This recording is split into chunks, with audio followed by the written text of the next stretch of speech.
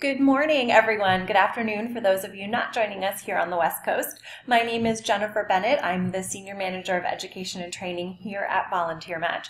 And I want to welcome you to our Nonprofit Insight series, Making Big Bets How Changes in Volunteer Engagement Strategies Pay Off. Joining me this morning are Beth Steinhorn and Carla Lehn. Both ladies this morning are contributors to our new book, Volunteer Engagement 2.0, and they're going to join us today to talk a little bit about the chapters that they've written, as well as to have a conversation with all of you about your questions on how some of the volunteer engagement strategies that they talk about can really make a big difference in your program, even if they don't feel like fundamental changes. Before I turn it over, I did want to introduce both Beth and Carla. Beth is currently the president of JF Fixler Group, and she's written many articles and books on uh, boomer volunteer engagement, and that's what she's going to be talking about with us today. Also joining us this morning is Carla Lehn, and she's the library programs consultant for the California State Library, and uh, she has also worked with Volunteer Match quite a bit on working with boomer volunteers, working with volunteers in skills-based uh, positions, and um, really building impact driven volunteer opportunities. So, um, without further ado, I'm going to turn it over to Beth. Um, we did have some technical difficulties this morning, so we missed about a minute of Beth's presentation, but all of Carla's presentation in our conversation is available uh, in the following recording. Thank you so much. What did we expect from them in the nonprofit sector? The baby boomer generation was certainly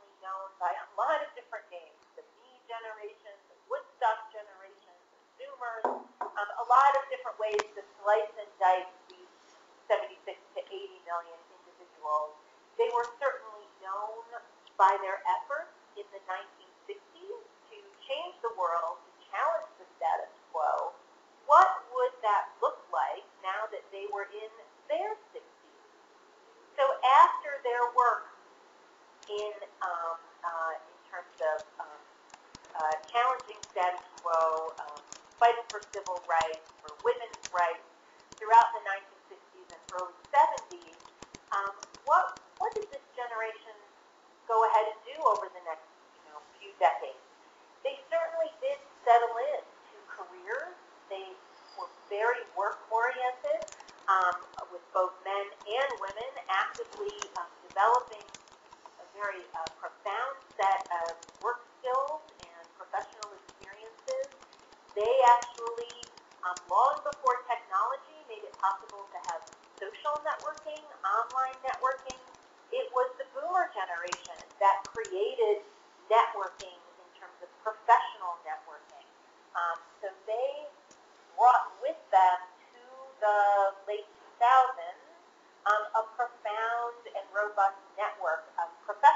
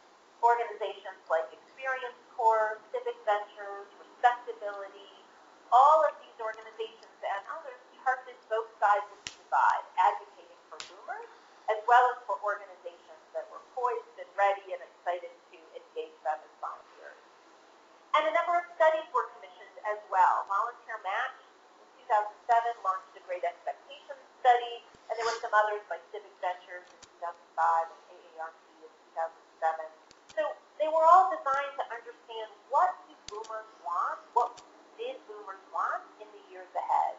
And here's what we learned. That boomers were at that point very optimistic about retirement, that they planned to work in retirement, whether for fun or for necessity, that they, um, while in the early part of the 2000s, um, they were fairly conservative about their um, uh, financial predictions for retirement, and some of that may have had to do with the 2001, um, the 9/11 uh, uh, tragedy, as well as some of the um, financial fallout from uh, after 9/11, which compared to the recession that launched around 2008 seems like a minor blip, but we didn't know that one was coming. Um, so they were fairly conservative, and then of course, once that next recession unleashed that financial conservatism even um, became more profound. They all really saw, or nearly all, saw volunteering as part of their vision for retirement. More than half planned to volunteer more in retirement, and even more wanted to start volunteering. And what was it that boomers really saw as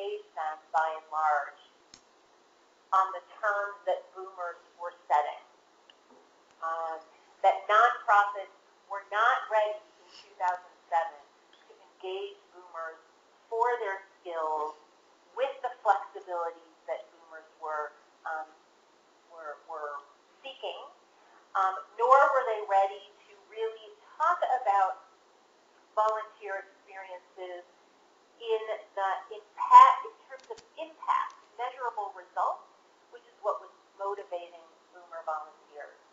So we were faced with this interesting divide, this gap between how boomers wanted to engage and how nonprofits were poised and ready to engage them. And in fact, um, we were we, there was an urgency there because nonprofits, whether they were willing to accept it or not, were faced with the reality that if boomers didn't find what they were looking for at your organization, they would take their skills and their time and go elsewhere. So I'd like to share with you a case study of how one organization in particular um, went about proactively addressing this divide and closing the gap between what boomers wanted and how their organization was ready to engage them. And that um, case study I'd like to share is of one um, healthcare facility, a hospital in California, Presbyterian Inter Community Hospital, which has since been rebranded as PIH Health. And um, this was an organization that systematically um, undertook a, a year to about 18-month process that has been continued, and I'll share some of that in a moment, um, to really intentionally um, address day business. So the first thing they did was that they identified the need. They knew that their volunteer corps was aging and that their current offerings were not attractive to boomer volunteers. So they formed a team, a, combina- a combined staff and volunteer team um, that became the Boomer Engagement Task Force for the hospital. They were very strategic invited in to, um, to populate this team. They included a few individuals who were already connected with the hospital, um, volunteers who were boomers themselves, who were familiar with the hospital and had ideas and leadership skills to share. They also engaged a few new volunteers, including one recently retired COO from another community hospital in the region, who obviously field and had um, a tremendous amount of experience to offer to the process, but couldn't really effectively be a volunteer in his own organization after having led it for so long. Um, and they also included key staff members, um, the director of volunteer services and a few other staff members. So it was a combined staff and volunteer team. They provided that team with training um, by, uh, by experts in the field. My, my firm was involved in that, and we provided training, a full day summit, where the where this team, the Volunteer Engagement Task Force, was able to learn about boomer engagement trends, assess their own organization, and come up with a plan to really um, make some targeted changes in their organization. And the team was charged with the task of identifying strategic opportunities to engage volunteers, boomer volunteers, new ways and move the organization forward through these targeted pilots where they could learn what works and what doesn't. Next slide, please. So what did the team do first? This engagement team, this volunteer engagement task force, interviewed staff and found out what are the barriers to um, engaging boomers for their skills in flexible positions in ways that create measurable impact. They, through that process, identified some policies that were barriers, such as requirements around training and also requirements around um, commitment, how long volunteers were required to sign on. And so in addition to recommending policy changes, they also identified a number of new positions. And I'll share with you just a couple that they identified. One of the first ones they, um, they discovered would be really helpful is to create patient biographer positions. These are on the next. Um,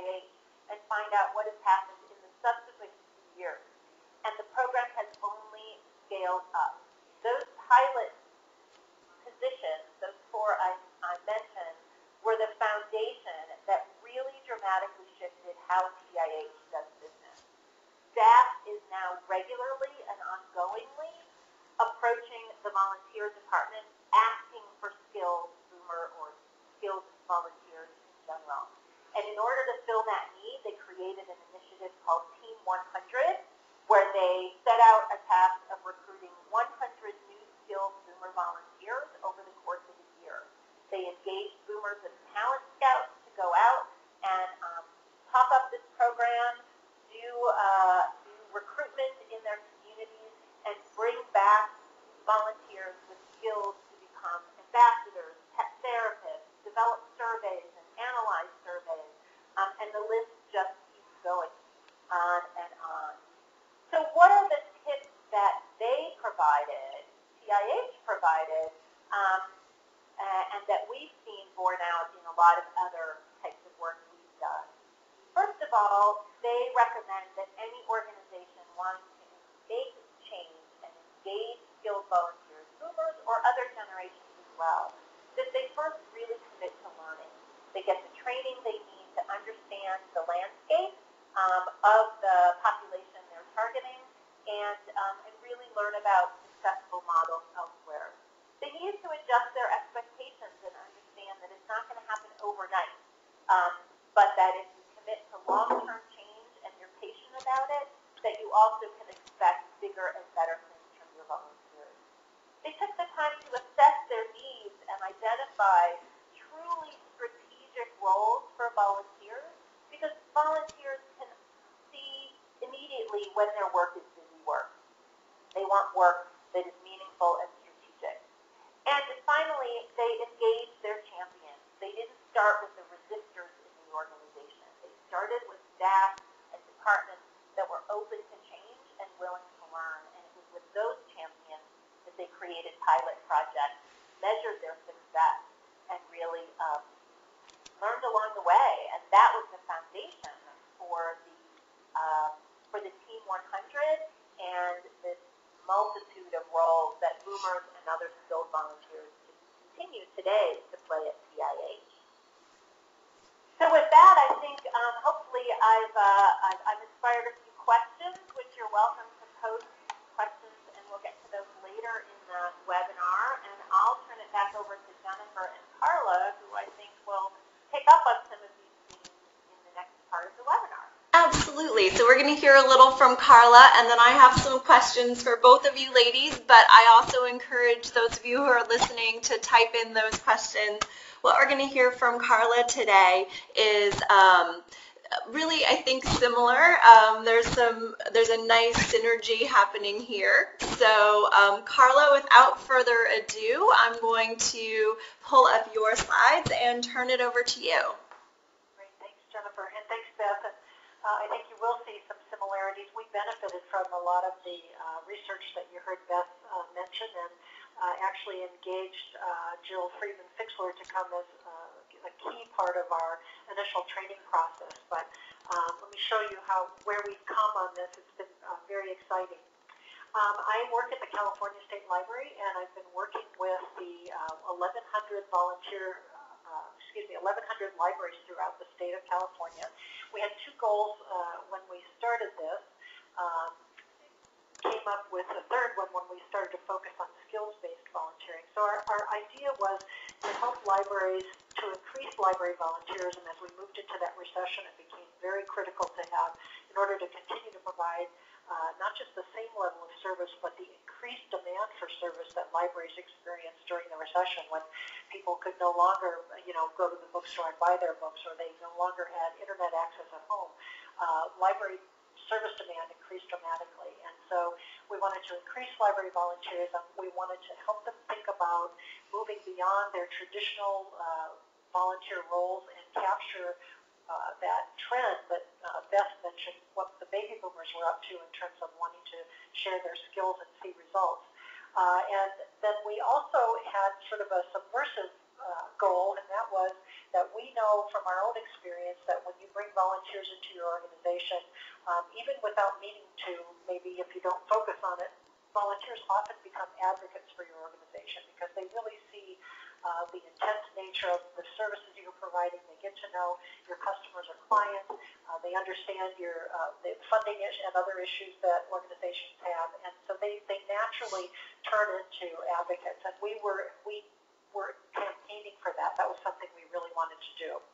Uh, and we did that through in three ways. One, we uh, had a very intensive training program up at the beginning. Uh, we formed a partnership with Volunteer Match, and we've done some uh, ongoing support of the libraries who've been doing this with us for the last five years. So we learned um, what works, and some of this is going to sound familiar, but I, I can't say how strongly these things are uh, important in whatever size effort you're implementing, whether you're a statewide organization like me or whether you're a, a nonprofit that has maybe several sites or several departments. I think all of these things relate to uh, to any kind of change you're trying to make in the volunteer engagement uh, process of your organization. So the first thing we did, and I would highly recommend, is to seek input from the folks that out there in the field or in your organization. Before you start laying some big new program on them, it's really important to find out uh, what do they think the issues are, what do they think the needs are, and where do they think the barriers might be uh, in trying to implement this. Um, we developed a statewide um, advisory committee, and what we learned from them uh, was that they thought there were lots of things we had going for us, including there were lots of volunteer uh, opportunities in libraries, but their barriers they foresaw for us were um, number one, that there might be staff resistance, and I'm sure many of you uh, experience that periodically. And secondly, libraries in California, at least, are uh, parts of their city or county governments, and so many of them are unionized. And everybody was concerned that the union issues would get in the way. So we were, I, we knew that up front. We were able to plan for it, come up with some um, materials and resources to help people through those, uh, and, and that was very beneficial to what we did the rest of the time. Um, the champions piece and the pilots piece was critical to our effort, and I think it would be um, to most of you. And that is, we started with folks who really wanted to try this. They wanted to take on this idea of skilled volunteers and test some things. And the beauty of that is they not only learned it and created processes, but then they were able to help us carry the message out to the rest of the field. So it wasn't just me at the state library saying, here, I know this is going to work. Just try it. Just try this skilled volunteer thing.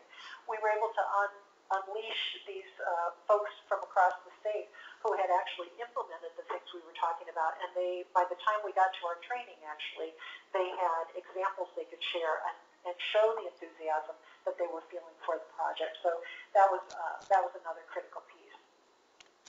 Of course, we, you need to have management support at the top. Uh, that was true here at the State Library, but it was also true for the public libraries themselves. So when we invited people to training, we invited them to bring a team of people, and we required that a, that a top manager be present at the training. It could be the library director or another senior manager, but we felt it was critical that in order for these folks to get trained and go back to try some implementation, they'd have to have management support from the get-go. And that was a that was a, a, also a critical piece. I um, highly recommend that. We know that having assigned staff to volunteer engagement is really important, but it's also true that very few public libraries have a full-time uh, volunteer coordinator.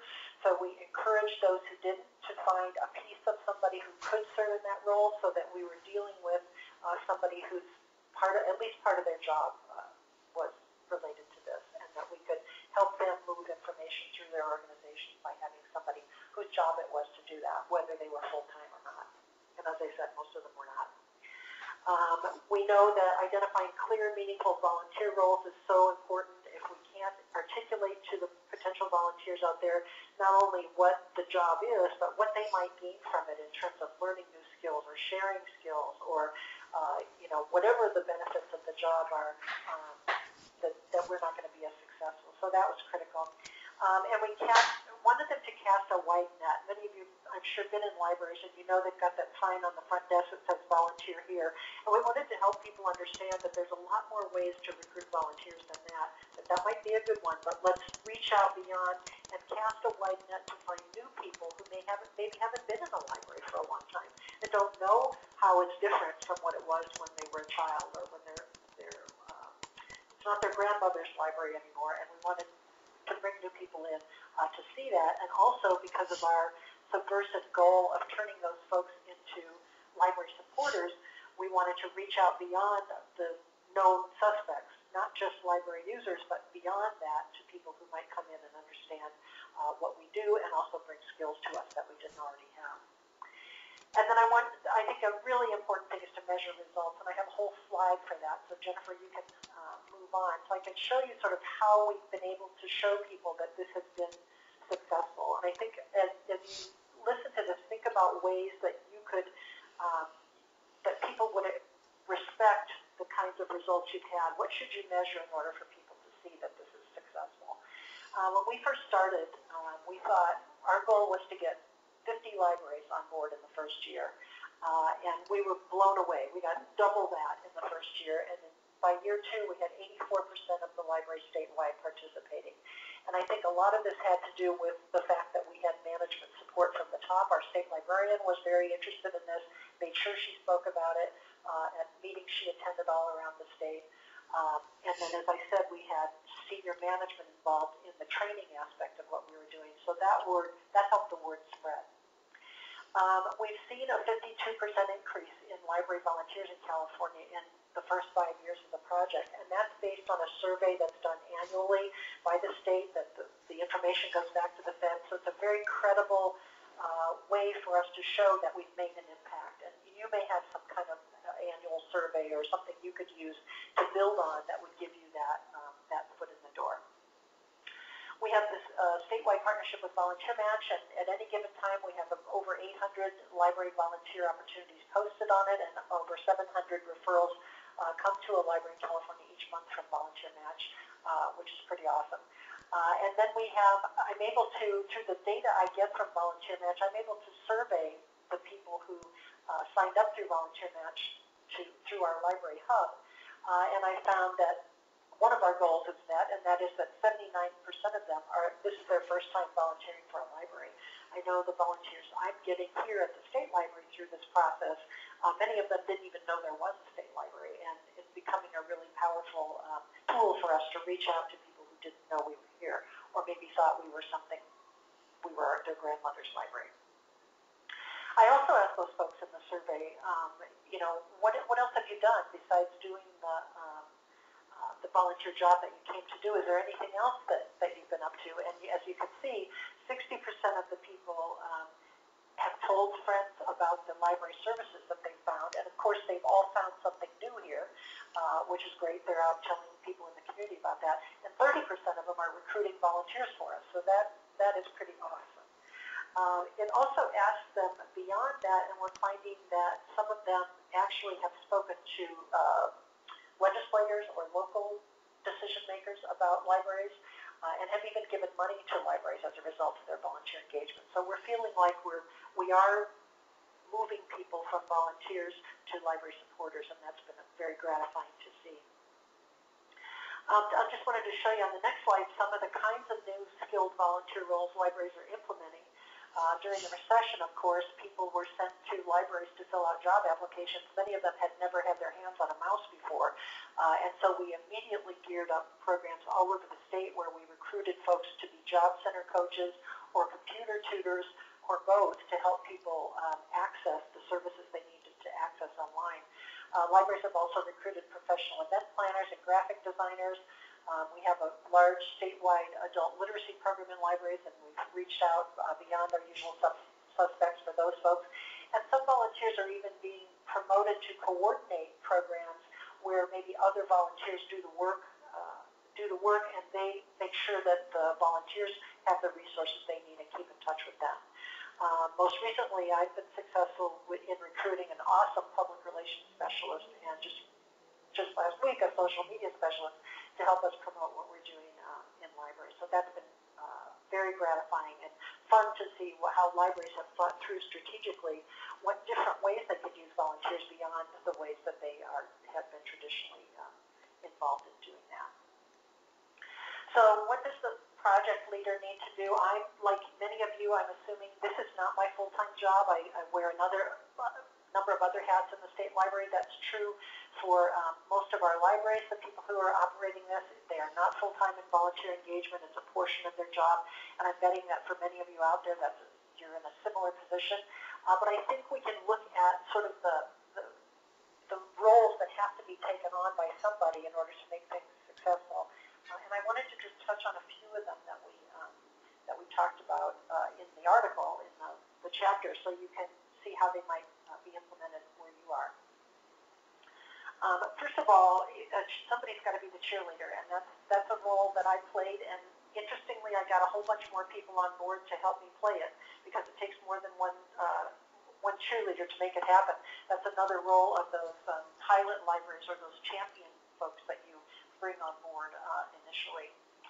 Um, engaging leadership, again, is critical, and, and now I mean not just engaging management, but engaging additional people who can play a leadership role. So in my case, I live in a very large state. This is a part of my job. So I reached out to people that I saw out in the field who were, um, you know, bubbling up as champions or interested in this and were having some successes.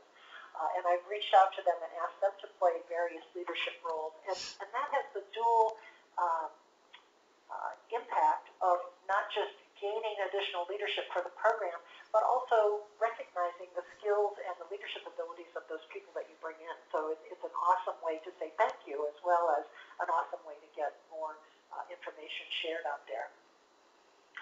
We started with, and I, I assume you will after your advisory piece like we did, start with some kind of a training event. Um, we needed to train libraries in skilled volunteer engagement, in new ways of to do volunteer recruitment.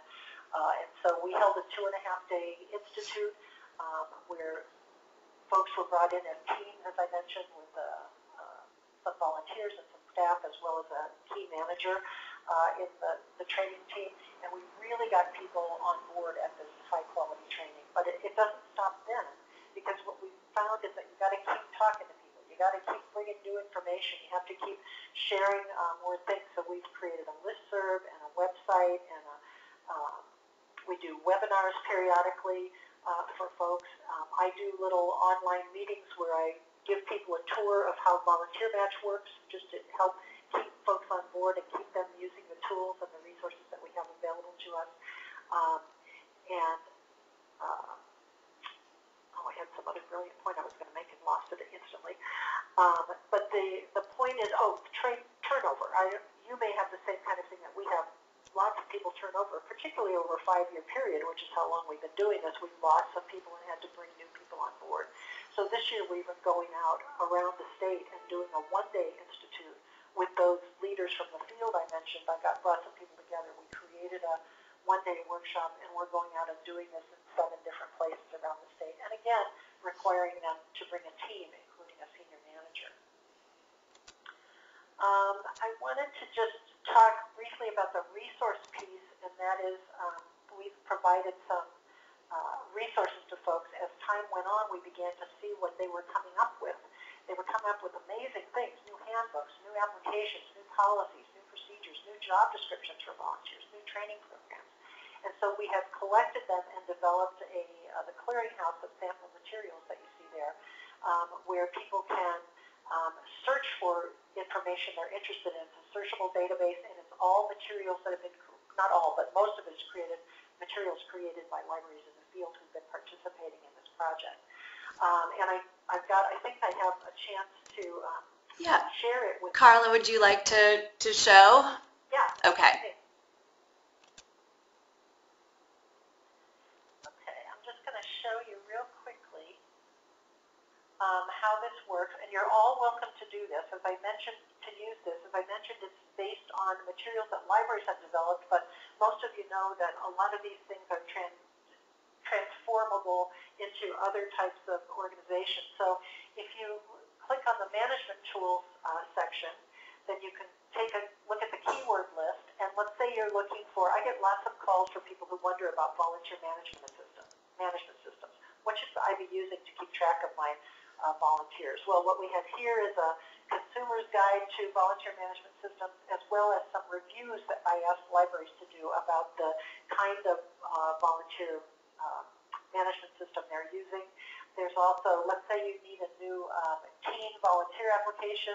You click on that keyword, and tons of them pop up, and you all you have to do is click on one, and the document is there, so you can use it uh, in whatever way you want. You can look at a number of them and decide which pieces of the application are things that you need for your organization. So that's really all I wanted to um, show you there. um, but just to, to know that it's available. We also post um, every month. We add new things to it, so you can look at the things that have just been added, or you can go and see things all the way back five years that we've added each time. Uh, and also here are position descriptions as a way for us to help libraries think about what kinds of volunteer, skilled volunteer positions they might put together. And so we've all stored them here, and just like the other one, you click on it, and here's a library concierge position at the Roseville Library that you can look at and see if that might work for you. So that's what I wanted to, to share there, Jennifer, so you're Great. able to take back the screen. Uh, thank you so much, Carla. And uh, I'm going to go ahead and let's see, um, pull this up. And I know we've got some great questions coming in. Um, I'm going to do my best to try to keep us more general rather than specific today since uh, we are sort of talking about what kinds of changes you can make that can influence or really pay off in your ability to engage volunteers in either skills-based work or that mission-driven, um, impact-driven work. And my first question to you ladies is, both of you talk so much about how important it is to work with your champions or to start with pilot programs. If I wanted to start to think about implementing some of these program changes or really moving needles, how should I go about finding those champions or starting those conversations uh, in my, inside my organization or with stakeholders? Well, this is Carla. One of the ways we did it um, statewide, of course, was, you know, I couldn't possibly know everybody, so we actually sent out a call for people who wanted to be on the advisory committee. And when we did that, people came out of the woodwork with all kinds of backgrounds in volunteer engagement. We had some volunteers apply as well, which was great, some managers. Uh, and so we put that list together and created an advisory committee that was representative of all those types of folks. And through that work, we began to see who might be the um, the ones who who were really excited about it and wanted to move forward, and then they helped us find others. So that's how we started. That um, I I would I would certainly echo what Carla said. I think that um, you know if you put the invitation out there, either through a statewide initiative, through an application process, through a information forum um, it's amazing who shows up, um, and that's your first screening opportunity to see who are the people whose eyes literally and figuratively light up at the opportunity to be part of change, and then use those people as your connectors to others. Um, we've seen, you know, a selective process be really important in that you can put the invitation out, but if you only have capacity to really support a small number of efforts, then make it a selective process so people don't, um, uh, you know, come with the expectation that they're guaranteed to be part of it. Um, uh, and the other thing I'd say is that the word pilot is really a very magical word. um, it's very intentional um, every time we use it because a pilot means you have permission to change it's an experiment. It means it's not a, a done deal with change being rolled out overnight, um, that it's slow and incremental, and um, it attracts those who are comfortable with that in-betweenness of not having something set in stone um, and rules already written, but those who want to be part of it. So I think your language are really parts of it. Great. Um, so we have a couple of questions. I'm going to try to put them together into maybe a two-parter question. Um, both of you talked about managing expectations or setting reasonable expectations, revisiting those expectations. Um, and Jen Nelson asks, uh, with these changes and giving volunteers these more strategic roles, how can you sort of um, modify your expectations or um, make sure that they're committing enough time to make that worthwhile or accomplishable. Uh, since this requires more planning and more supervision from the manager, uh, how, how do you start to talk about volunteering differently? And then that second part of that question is, um, what do you do or say or how do you approach your existing volunteers um, or your older volunteers to make sure that they're involved in this process and not so resistant to that change? and feel free to start wherever you want. Can I take a stab at the first part? Yeah, and I'm going to take a stab at the second part, so go ahead. That's a good team. Okay, so let me take a stab at the first one, which if I recall was about how do we manage expectations, hold volunteers accountable to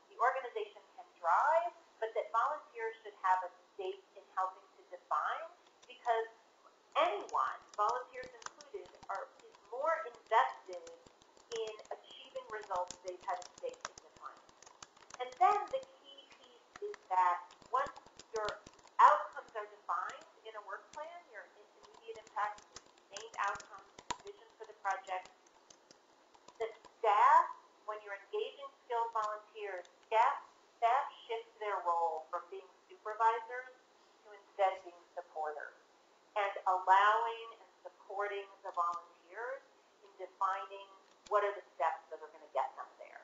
And for the staff, it's about letting go of supervising and managing every step along the way, and instead ending every meeting with, what do you need from me in order to be successful? And that role to one of the supporter and all the things that Carla laid out, resource getter, you know, problem solver, all of those, and shifts you into a supporting role. Um, and the last thing I'll say before I turn it over to Carla is that, you know, letting go of how the work gets done doesn't mean letting go of knowing what's happening and being able to hold people accountable. So part of the agreement early on is how are we going to keep in touch with each other? What's the best way to communicate? Email, in person, phone, um, you know, online workspaces, whatever it is. How are we going to keep in touch so that I have no surprises and that I can support you every step of the way? And that if you have problems, we won't find out after it's too late. We can work together to solve them. Yeah, and Carla? This, this is Carla. I'm just going to add on to that with an example of I, I recruited a um, uh, public relations specialist, somebody to help I create a statewide public relations campaign around the 30th anniversary of our library literacy program. And because what I want to be sure is, is that people understand, I don't think it takes more time to supervise or support these folks. It just it's different. It's just a different approach. In this case, he was the expert. I don't know anything about public relations, but I understood what our goals were, and I understood what we were trying to accomplish. And you know, we actually met in person only three times and spent lots of time on um, on conference calls and, and and other calls because he was guiding me and came up with amazing things that we never would have thought of. Uh, so I just want to say again that it's not so much uh, spending time supervising, it's spending time um, working with, supporting, you know, following through, providing resources, as Beth said, uh, to those high-skilled uh, volunteers. That's been very, actually very exciting uh, for me and for others to do. And, and on the second part of the question, if I got it right, is I think there's a concern, and there certainly were among library folks, oftentimes a concern when we talk about implementing the skilled volunteer piece that the traditional volunteers will feel badly or get their nose bent out of shape or feel like they've been pushed aside. And I, I would say to you that, that that certainly doesn't have to happen. There, there are very traditional roles in libraries that continue to be um, open to volunteers to, to do. And actually what we've offered them is opportunities to add to what they're doing with another level of skilled volunteer. For example, you all are familiar with library book sales and the volunteers who help sort the books and sell them, et cetera. And we started talking to them about, well, maybe you could find a volunteer merchandising expert who could help you display things better, uh, particularly for those libraries that have a little bookstore inside the library in addition to the, the large book sale. So we present it to them in terms of what they can gain from this and what additional kinds of volunteers they might be able to engage in their work.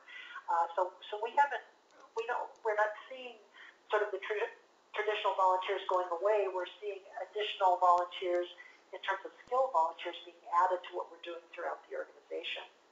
And another way to help people with that is to engage volunteers in the initial training. So we asked each library to bring at least one volunteer with them to the training. And as you get, you might guess, many of them were very experienced and sometimes older and volunteers doing traditional work. And they got excited about what they saw the possibilities could be as well. So I, I think the key is not to make people feel like we're replacing something with this. I think we're, we're just, this is another amazing tool you can add to your toolkit uh, to get even more results for the organization in terms of not just volunteer engagement and getting more work done, but bringing a new kind of uh, volunteer into the system who then cares about your organization. And as I showed in our case, they go out and tell people about it and even recruit more volunteers to help. So I hope that answered that question, Jen. Great, yes, and sorry to throw such a complex, multiple question at the two of you. Um, a question from Missy. It sounds like in her organization, um, prior to the last year or so, there was an expectation that um, the leadership and roles of volunteers would be moving towards that skills-based, um, impact-driven work. Uh, but uh, oh, and previously they were sort of engaged as partners with staff. And there's been a shift in leadership or shift in culture, and now they are, in quotes, only volunteers um, with few opportunities for input. Um, what would you suggest to Missy to help her educate, inform, change the mind of their current of her current leadership um, about how uh, engagement and volunteers can really move needles in your organization? Well, yeah, this, is Carla. Two things came to my mind. One is to show them results. You know, show them, take them somewhere and show them what volunteers are doing, or show them uh, the new project that we've been able to implement because of the way we've approached uh, volunteering. Um, secondly, I'd say take them to training if you can, or get them engaged in some training. And thirdly, there's actually a book, um, and I'm going to hopefully it's going to come to my mind. Maybe one of you out there, I'll look for it in a minute. Uh, I can send it out. Are you talking about From the Top Down by Susan From the Ellis? Top Down, yes. That, that's a great book for um, leaders and executive type folks who don't get it. Um, if you can get them a copy of it and, and help them, you know, maybe engage them in a conversation about it, uh, it, it's a great book to have.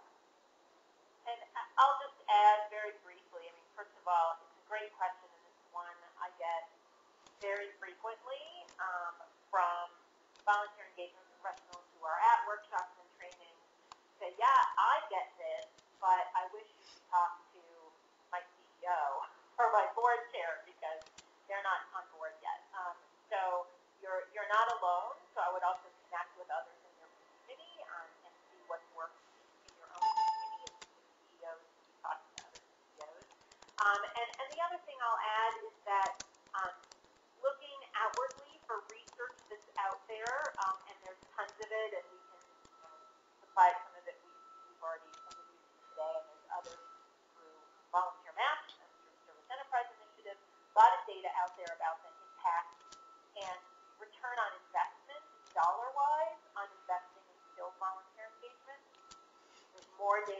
ever out there. But I think that's especially powerful when it's paired with data from your own organization, whether they be case studies and success stories like Carla mentioned, or assessments of your current and potential volunteers, surveys, information about what they're seeking, what skills they have that aren't being shared with the organization, that they'd be willing to share with the organization. Um, you know, a little internal research will go a long way to show how the external research can apply and how there's room in your own organization to tap some of these volunteers. Great. Thank you, ladies. We're getting close to the top of the hour. I wanted to just uh, mention that while we've got so many great questions today, um, we are, are limited on time. But the good news is both Beth and Carla have written about 4,000 words on these topics, and they are in our book, which you can um, see information up there about where to find it or who else is included. Um, uh, if you did not get questions answered, um, again, we will be sending out a recording of today's session. You'll receive that in a follow-up email. If you'd like, you're welcome to sort of craft a more complete question. I'd be happy to point you in the right direction, and um, I'm sure both Beth and Carla have resources they could share as well. So please do feel free to reach out. You can contact me by clicking reply to any of your GoToWebinar reminders.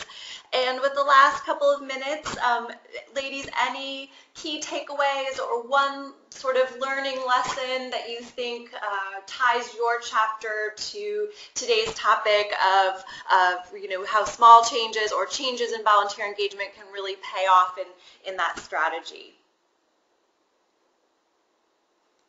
Sure, this is Beth. Um, I'll just wrap up by, I think, making two points, which is that um, uh, while it was a pleasure um, and very relevant to be able to kind of bookend our initial work around boomers now, eight years later, to talk about what's really unfolded in terms of boomer generation and their volunteering, I think the most important message about boomer engagement is that the strategies that work for boomers really, by and large, are um, shifts in the way we do business that, that set us up for success with Gen X and millennials and generations that follow as well.